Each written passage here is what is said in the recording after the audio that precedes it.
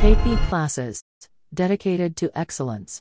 Hello everyone, this is Munali Mishra from KP Classes and UPSC has released 53 vacancies for the post of Deputy Architect in CPW. In this video, we are going to know about all the basic details that you are supposed to be aware of before filling up the forms or before applying for this particular recruitment position. Now the first thing is that the post is for the Deputy Architect in Central Public Works Department and the pay scale is level 10. Now the number of vacancies which is which are released as, is basically 53 which is quite a good number of vacancies and this is the vacancy breakdown as per the different criteria. You can have a look at it to get an idea. The maximum age limit is 35 years and the essential qualification that is the bare minimum eligibility criteria as per the education criteria is listed that a person should have a degree in architecture from a recognized university or institution and as well as a person should be registered as an architect with the Council of Architecture under the Architects Act of 1972. So basically you should have an architecture degree and you should also have a, registration with the COA. Apart from that, uh, the headquarters is basically New Delhi but liable to serve anywhere in India. This is what is written in the notification. Okay, The postings can be anywhere. Now, the one thing that comes to our mind, what are the important dates? Like what are the dates of form filling and everything, okay? So the form filling is going to start, basically it has already started from today onwards, that is 8th of July onwards itself. Uh, and the last date of your form filling will be up till 27th July 2023, okay?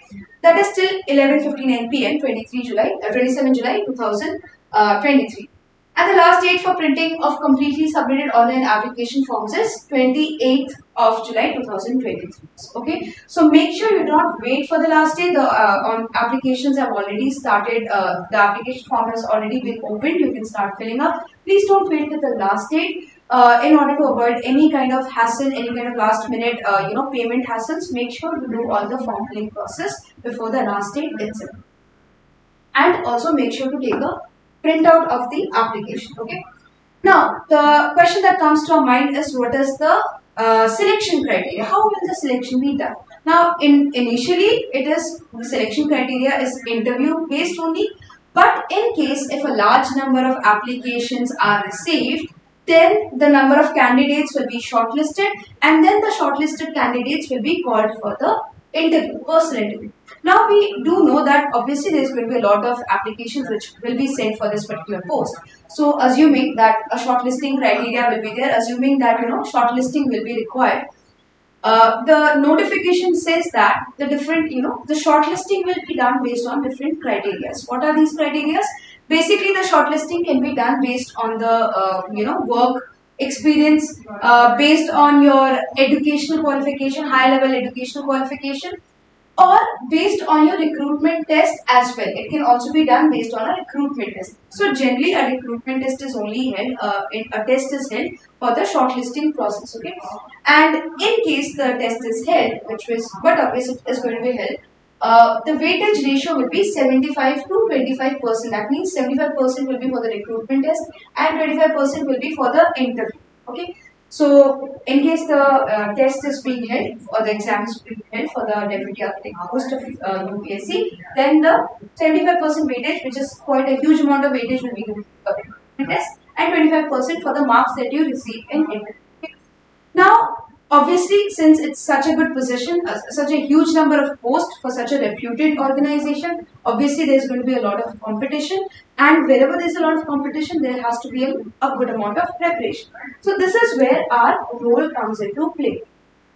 KP classes is starting a new batch from 11th of July for the preparation of your deputy architect post in your CPWD organization. Okay.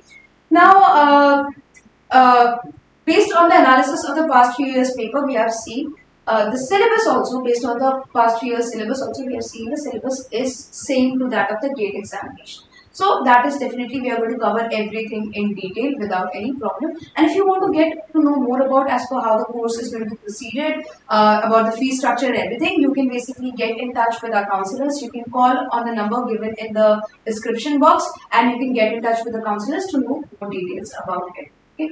Apart from that, if you have any other queries, please feel free to uh, put the uh, queries down in the comment box and uh, subscribe to the channel as well as like the video, subscribe to the channel to stay updated about new posts, new releases and all of those things. Definitely a detailed video will be made about this particular which will, uh, you know, post which will be talking about the syllabus and all of those things. So please subscribe to the channel in order to stay updated about the latest.